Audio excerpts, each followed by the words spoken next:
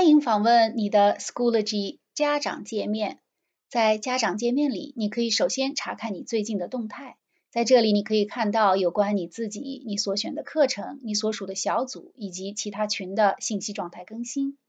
你还可以查看按时间顺序排列的需要做的作业、重要的截止日期和日历事件。在这里，你可以自定义你的个人资料。你可以添加图片，并将个人信息添加到你的个人资料中，供其他人查看。你的课程仪板表。将你的所有课程列为一个个的板块，你可以拖拽这些课程板块，对它们重新排序。在课程仪表板中，你可以单击任何课程，并直接转到这个课程的主页。通过单击右上角你姓名旁边的箭头，你可以查看任何关联的学生账户。这个下拉菜单中的勾选标记表明你当前位于哪个账户。如果要更改设置，请单击下拉菜单中的设置，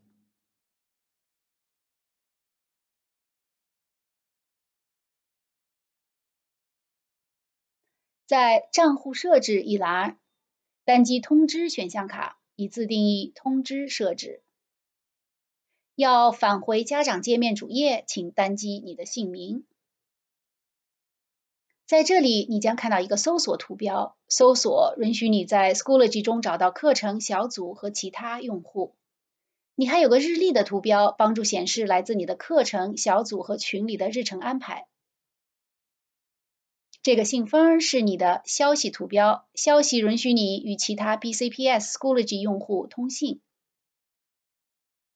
这个铃铛将标记你的新通知，每当有人向你发送消息。想要加你为联系人或者其他与你的课程或小组相关的事情时，这里都会显示有新通知。你可以在设置里设定新通知的内容。你可以通过顶部导航栏访问课程、小组和资源板块。